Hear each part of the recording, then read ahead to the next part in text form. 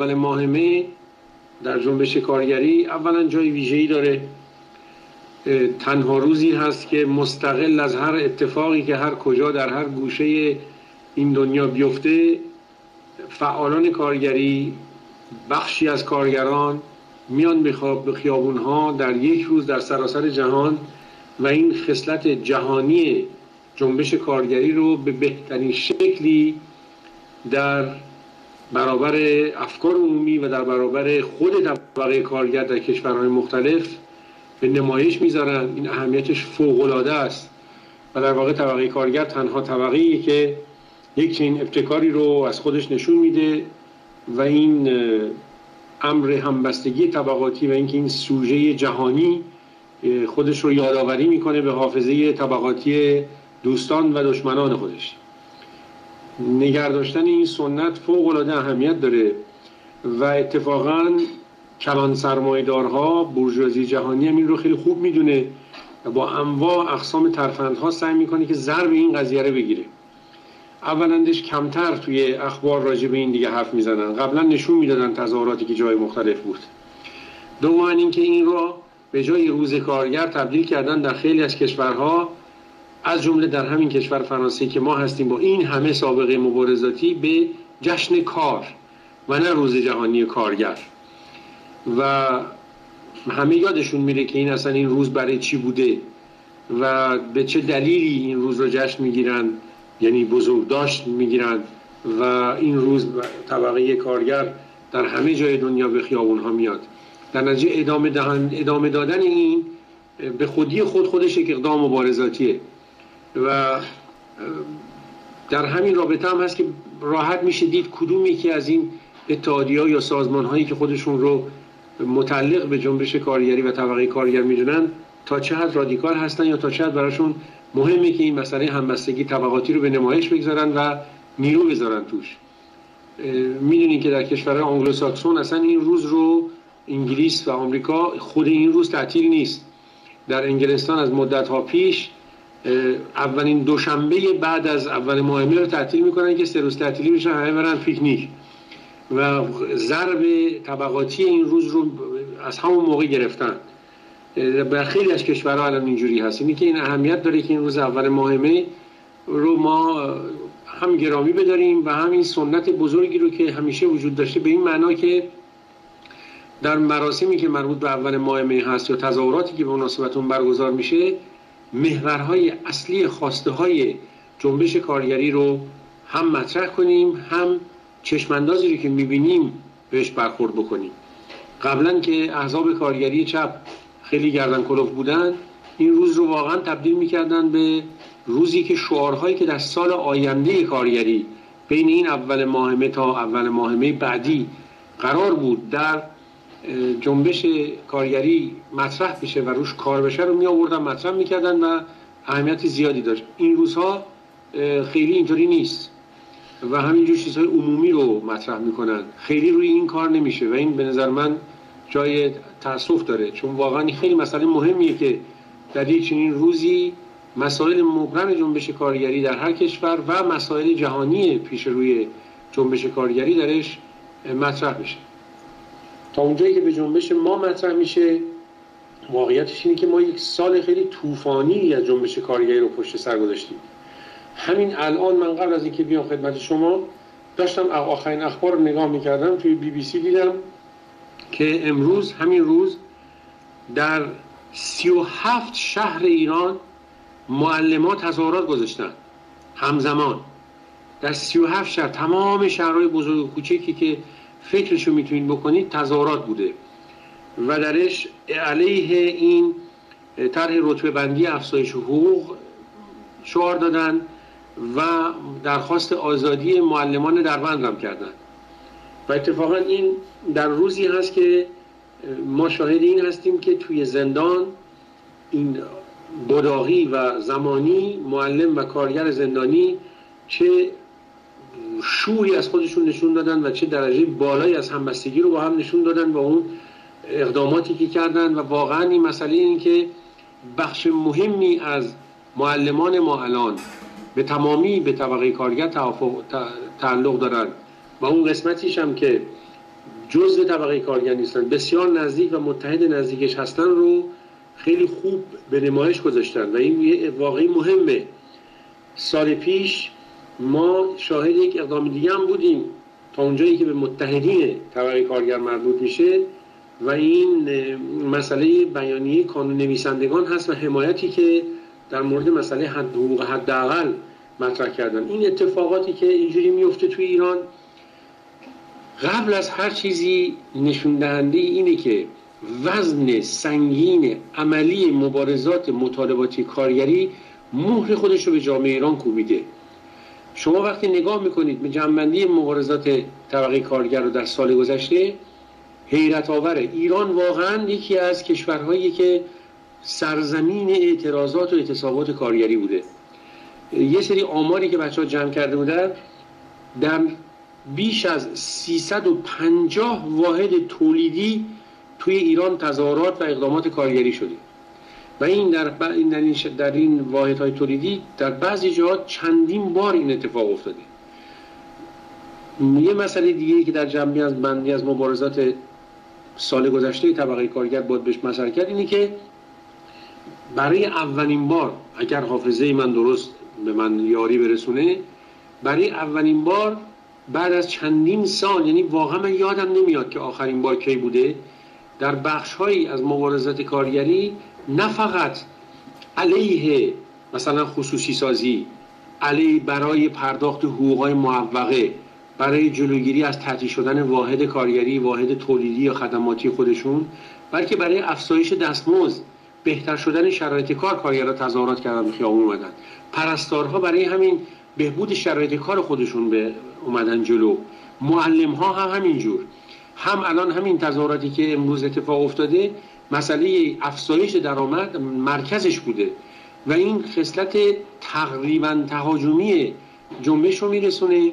به این معنا که دیگه مسئله صرفا دفاع از آنچه که تا داشتن نیست بلکه گامی به پیش است. و این خیلی خیلی خبر مهم و خوشحال کننده ای هست که جنبش کارگری بعد از این همه مبارزات خودش وارد یک همچین فازی داره میشه. از طرف دیگه فشار اجتماعی و مشکلات اقتصادی که در ایران هست که قبل از هر چیز و اینو دائما به نظر من ما همیشه باید یادآوری کنیم قبل از اینکه تحریم ها باعث و بانی این وضعیت نابهنجار اقتصادی در ایران هستند این سیاست های نئولیبرالی هار و گستاخانه دولت های پی در پی جمهوری اسلامی از آقای رفسنجانی تا همین آقای با تدبیر روحانی بانی و باعث این جهنمی بودن که الان در ایران هست. این گرانی این تورم و رکود توامان این وضعیت بسته شدن پیاپی واحدهای تولیدی این خستت عظیم سوداگرانی که غالب هست در جمله در اقتصاد ما و این استفاده هایی که دولت نفتی ما دولتی که از رانت نفتی در واقع زنده هست استفاده می‌کنه و به جای اینکه اقدامات بلند پروازانه روبنایی رو به پیش ببره.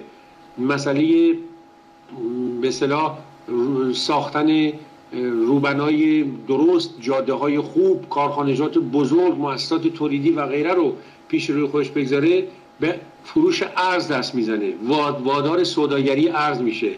دولت احمدی نژاد اولین عامل بالا رفتن ارز در ایران بود و دولت روحانی امروز اولین عامل و مهمترین عاملی هست که مانع پایین اومدن ارز میشه به, به این معنی که ما این رو همیشه باید یادآور بشیم که این نه تحریم بلکه سیاست های نئولیبرالی سرمایه‌دارانه دولت های جمهوری اسلامی هست که این وضعیت رو ایجاد کرده و خصلت سوداگرانه ای که اقتصاد ایران داره از طرف این دولت نه تنها باش مبارزه نمیشه بلکه خود دولت یکی از بزرگترین سوداگران بازار ارزه و خود این دولت هست که بیشترین استفاده را از این می‌کنه برای اینکه مشکلات بودجه خودش رو یک مقداری بهش سر و سامان بده.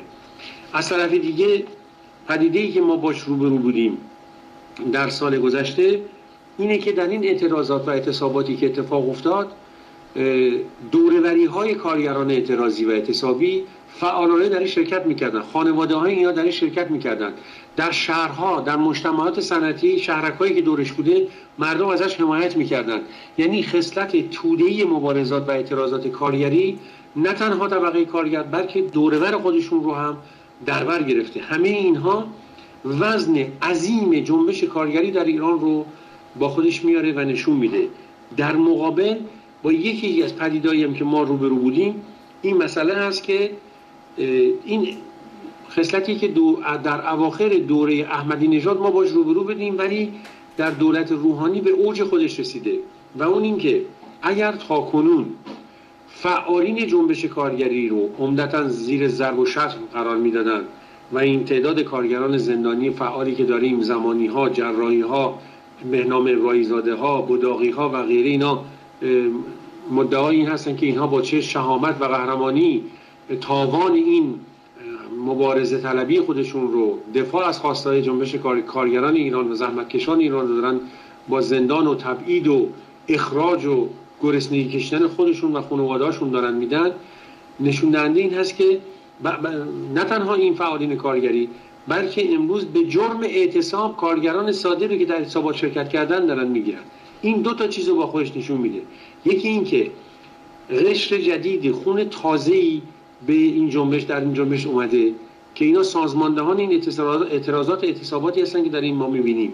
اونجایی که یک مقداری سازماندهی بالاتر هست. ما می‌بینیم که مثل معلما که انجمن سنفی خودشون دارن و این یک کانال دیالوگ بسیار مهمی هست بین معلمان شهرهای دیگه می‌بینیم مثل امروز تظاهرات در 37 شهر برگزار میشه. این چیز اصلا باور نکردنیه در شرایط دیکتاتوری مثل جمهوری اسلامی. یک چیز عجیب غریبیه.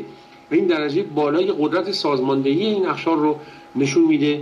که هم بخششون متعلق به طبقه کارگرن و همین که در کل اگر جز طبقه کارگر نباشن متحدین بسیار نزدیک طبقه کارگر هستن و این مبارزات و جز مبارزات اجتماعی طبقه کارگر باید به حساب آورد. و این وزنی که داره این تعداد اعتصاباتی که شده اقداماتی که تو ایران شده در کمتر کشوری الان ما داریم می‌بینیم. و در منطقه حداقل نمی‌بینیم. در منطقه به خاطر این جنگ های سکتاریستی این جنگ های این جنگ های شیعی مذهبی غیره که به جای جنبش های اجتماعی الان منطقه رو در نوردیده این خصلت اجتماعی و طبقاتی این مبارزات در ایران باز هم اهمیت بیشتری پیدا می‌کنه و باز هم نشون میده که بافت و ساخت جامعه ایران متفاوت هست با اینها. وقتی ما کشورهای مثل عراق و سوریه رو با ایران مقایسه می‌کنیم وزنی که قبایل اونجا دارن و استفاده هایی که هم هم هم دولت های مرتجع حاکم بر اینجاها در این کشورها. از این مسئله قبیله گرایی و شیعه گرایی سنی گرایی غیره کردن متوجه میشیم که خوشبختانه در ایران سطح مبارزات جوری هست که اجازه میده خواسته های اجتماعی مسائل اجتماعی مسائل اقتصادی خودشون نشون میده. در مقابل رژیم داره حمله می‌کنه به اینها و نه تنها فعالینی که شناخته شده هستند فعالینی که آشکارا با شعار ایجاد تشکلات مستقل کارگری کارمندی حقوق بگیری پرستاری معلمی و غیره به میدون اومدن اونها رو به زندان میندازه بلکه برای مقابله با این جنبش رو به گسترش کارگری که واقعا دیگه ابعاد ملی و میلیونی داره به خودش می‌گیره نوک حملش رو گذاشته روی اینهایی که سازمانده این جنبش ها هستند و به جرم اعتصاب کردن می‌گیره و به زندان میندازه. به شلاق محکوم به زندان و شلاق محکوم می‌کنن. الان ما در چندین مورد شاهد این بودیم که کارگران معادن رو مثلا گرفتن و به جرم اعتصاب کردن محاکمه دارن می‌کنن. و اسم این اعتصاب رو هم در این شرایط گذاشتن خرابکاری. مثل اینکه جنگی در ایران هست و هر کسی که بخواد یک اقدام اقتصادی رو بکنه. ولو یک اعتصاب ساده این اقدامش خرابکاری و اقدام علیه امنیت ملی و غیره و زالک هست یعنی بار امنیتی دادن به اعتصاب که مدت ها بود بعد از جنگی ما باش روبرو نبودیم و از اواخر دوره احمدی نژاد یواش یواش شروع شد متناسب با اوجگیری جنبش اعتراضی. الان داره به قاعده تبدیل میشه. یک تبدیل به اقدام رایج قوه قضایی میشه. قوه قضایی به شدت توش داره دخالت می‌کنه و رأسا هم اقدام می‌کنه. تظاهر کننده ها رو می‌گیرن. اعتصاب کنندگان رو می‌گیرن براشون پاپوش درست می‌کنن به جرم انواع اقسام جرم که یه سرش رو وصل می‌کنن به خرابکاری و اقدام علیه امنیت ملی و اینها رو زندانی می‌کنن. این پدیده که ما در چند ماه اخیر به خصوص به شدت باش روبرو بودیم و به نظر من بعد از خوردن این جام زهر دوم یعنی مسئله توافقنامه عمومی لوزان و این عقب نشینی مفتزهانه جمهوری اسلامی از برنامه هسته خودش ما باز هم بیشتر شاهد, شاهد این تعرض خواهیم بود. به این معنا که اینها می‌خوان نشون بدن که عقب نشینیشون در مقابل قدرت های بزرگ امپریالیستی به هیچ وجه به معنی عقب نشینی در مقابل خواستهای مردم کشور ما نیست بلکه برعکس اینها این رو سفتر خواهند کرد حملاتشون شدیدتر خواهند کرد و از این زاویه هست که اتفاقا الان اون چیزی که پیش روی جنبش ما هست این مسئله نبودن تشکل کارگری سراسری که چشم اسفندیار جنبش کارگریه این عبارت بسیار زیبا و گویا هست در این مورد هرچه بیشتر خودش رو داره نشون میده و ما الان در کشوری که در بیش از 350 واحد تولیدیش تظاهرات اعتصاب کارگری میشه انواع اعتصابات و اعتراضات شگردهای مختلف استفاده میشه. منطقی، موضعی، شهری، سراسری، بستن جاده، بست نشینی جلوی فرمانداری ها، اشغال صحنه کارخانه ها، تظاهرات برای آزادی کارگران، رفتن جلوی مجلس، رفتن جلوی فرمانداری، جاده بستن. هر جوری که شما فکر بکنید رو اینا الان دارن می‌کنن. انواع پیکت ها رو در انواع واحد های تولیدی گذاشتن و پیروزی های هم داشتن مثل پتروشیمی مثل معادن و غیره. و حتی به خصوص در مورد مسئله خصوصی کردن معادن تونستن به بهترین شکلی از تضادهای داخلی خود طبقه حاکم که بین جناهای مختلف سر این مسئله خصوصی سازی دعوا بود استفاده بکنن. اونجایی که این جنبش میدون میاد این فعالینی که به نفع توش دارن فعالیت می‌کنن هوشیاری های خیلی جالبی از خودشون نشون و خیلی امیدوار کننده است برای آینده این جنبش. و در شرایطی که رژیم هر چه بیشتر فعالین کارگر زیر ضرب می‌بره ما شاهد گسترش بیشتر جنبش های اعتصابی هستیم. و اون مسئله این که بیش از هر زمان دیگه ای الان بین درجه گسترش و تعداد کارگران درگیر در مبارزات مطالباتی و اعتصابی در ایران و درجه تشکلش فاصله باز هم بیشتر شده. شکافی که بین این عدم تشکل و وجود اعتراضات در انواع اقسام اشکال خودش هست با فریاد داره می‌زنه که این موزل رو جنبش کارگری باید کمر همت بهش ببنده و این رو حل بکنه. و این مسئله که الان پیش روی ما هست و اینکه این مسئله خاص تشکل مستقل کارگری و اخشار دیگه حقوق بگیران که سالهاست الان شعار جنبش کارگری فعالین جنبش کارگری هست و به خاطر اونم هزینه سنگین رو پرداختن می‌پردازند و خواهند پرداخت. واقعا با تبدیل بشه به مسئله خواست تشکل مستقل سراسری و اینکه این مباحثی که الان راه افتاده این بحث هایی که از طرف بعضی از فعالین کارگری مطرح شده پاسخگوی و در واقع به قول مارکس میگه سوال وقتی مطرح میشه که جوابش هم زمینش آماده باشه. و اینکه این مسئله تشکل سراسری الان با این شدت مطرح شده علیرغم مخالفت های فرقه گرانی وحشتناکی که از این منور دیدیم و علیرغم اشکالاتی که در نحوه طرح این وجود داشته یادآور این ضرورت واقعا چشم ناپوشیدنی و این حلقه ای هست که نمیشه بدون گرفتن اون پیوند خورد با جنبش کارگری رو برای ما مطرح کرده. الان و سعی کردم توی اون مقاله که به شکل گفتگو با گزارشگران بود یک مقداری از زوایای این نظرم رو روشن بکنم. و الانم با صدای بلند دارم با رفقای خودم فکر می‌کنم.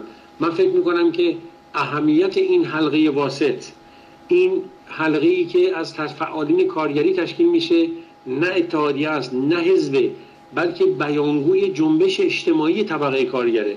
شبیه اون چیزی که در دوران اسپان... توی اسپانیا در دوران فرانکو و ما قبل اون اتفاق افتاده بود.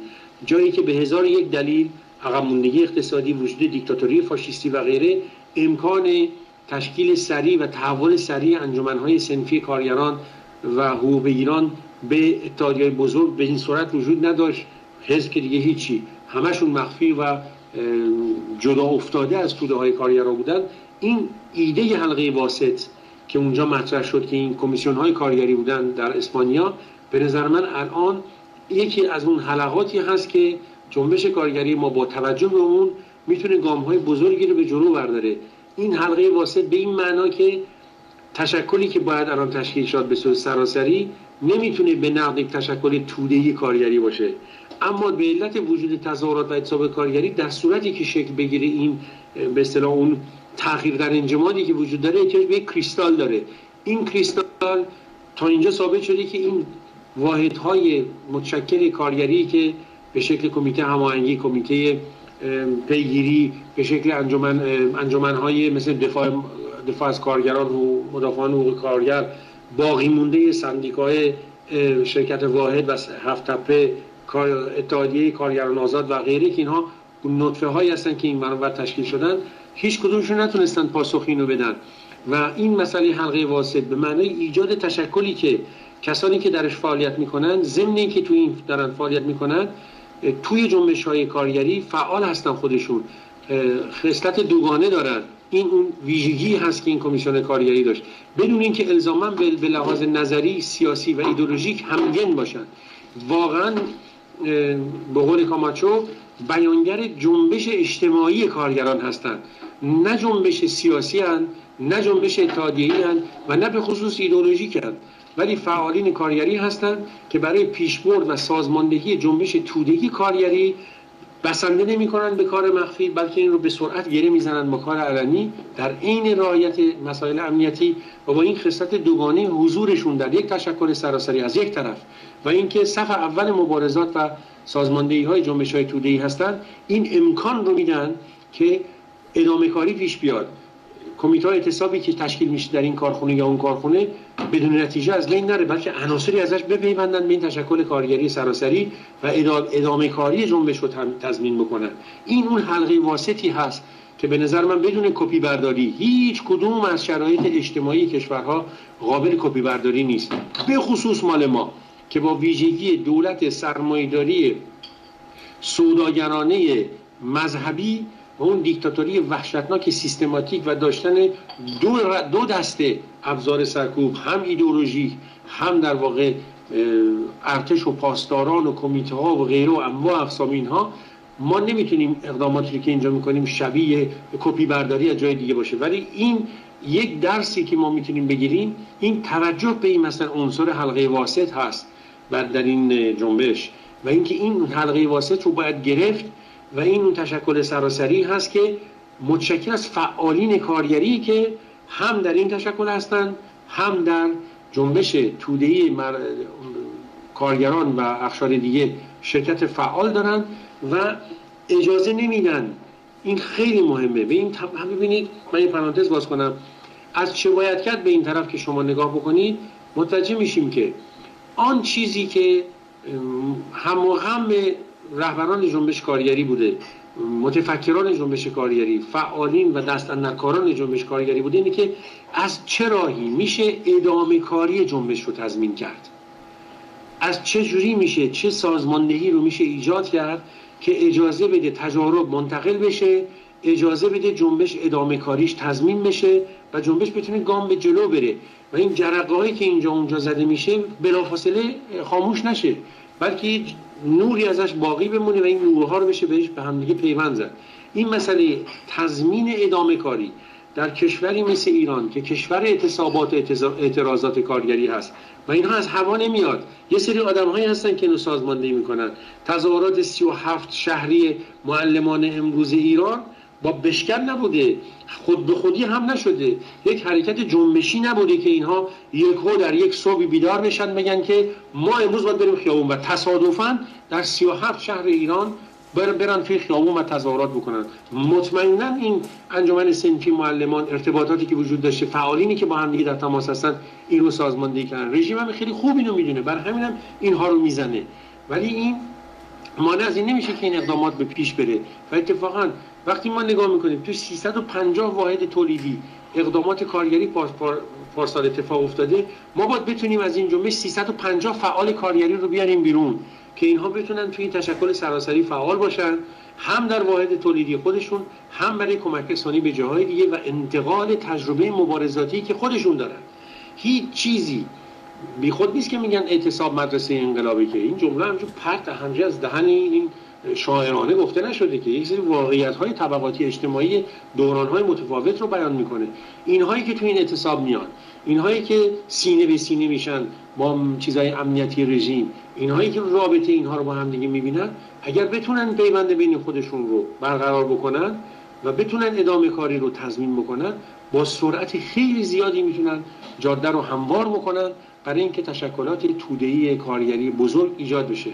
و همینجوری هم که من فکر می‌کنم همه ماهایی که اینجا تو این اتاق هستیم با این با هم دیگه توافق داریم که شرایط دیکتاتوری فاشیستی خشنترینش کند می‌کنه تشکل یابی رو ولی شرایط بنبست و غیر ممکن ایجاد نمی‌کنه.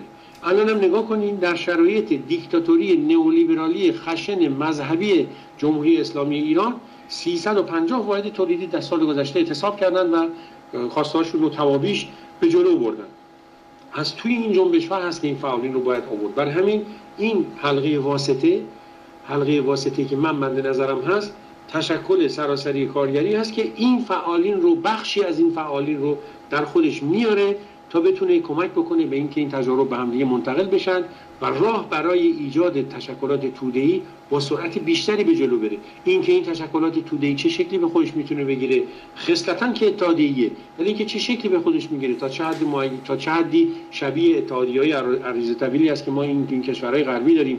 تا چه حد ویژگی‌های خاص خود ایران داره. اون یه بحث دیگه است. اصلا بحث من اینجا این نیست. بحث من اینه که ما هنوز متاسفانه در اون مرحله نیستیم که بتونیم راجع به اینکه جنبش سازمان های توده مستقل طبقه کارگر چه شکلی به خودش می‌خواد بگیره ما هنوز در اون فاز نیستیم بلکه در فاز این حلقه از اولیه زنجیر هستیم.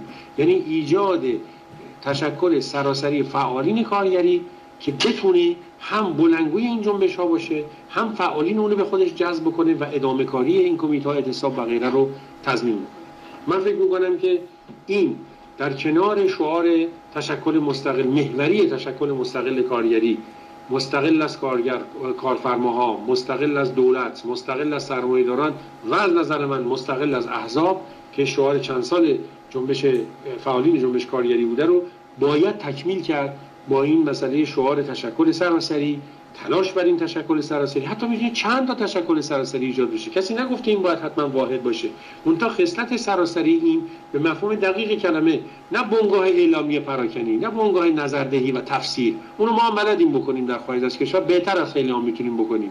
مثلا اینکه که اونهایی که دست در کار در کار هستند دست از نزدیک در آتش دارند این فعالین جا افتاده جنبش کارگری. این مسئله تشکل کارگری رو به جای اینکه از زاویه های تنگ فرقه گرایی به سبک آن بلایی که ما خودمون بعد از انقلاب بهمن سر جنبش کارگری آوردیم و شق شقش کردیم پیشگام درست کردیم پسگام درست کردیم هوادار این هوادار اون و غیره و اجازه دادیم که تفکر اکثر تودهی بیاد ما رو لط و پار بکنه به جای پیوند گرفتن با جنبش تودهی به جای دست گذاشتن روی مخرج مشترک کارگران و حقوق ایران در اون دوره خصلت ایدولوژیک اون رو برجسته کردیم وابستگی حزبیش رو بسته برجسته کردیم الان این فعالین کارگری باید مستقل از این تعلقات سیاسی یا مستقل از این تعلقات حتی ایدولوژیکی که می‌تونن و به حق هم می‌تونن داشته باشن باید این فعالین کارگری در یک تشکل سراسری ایجاد بکنن که بتونه این حلقه واسطی باشه بین مرحله فعلی ما و این کمیته های پراکنده که ایجاد شده و جنبش و سازماندهی تودهی آینده که میشه در زیر همین سرنیزه رژیم جمهوری اسلامی هم اون رو در واقع ایجاد کرد.